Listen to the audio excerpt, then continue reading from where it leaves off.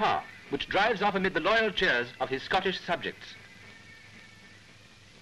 The Belgian professor Max Cousins, as we call him in ah, English, is one of the best known of those modern adventurers who explore the uncharted stratosphere.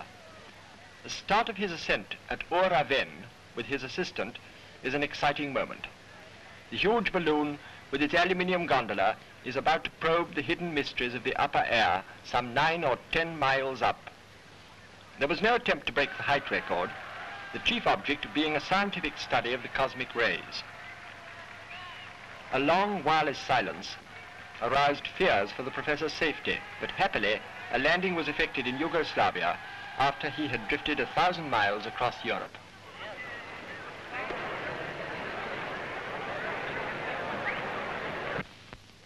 The Epley Air Race at Omaha, a 50-mile dash over a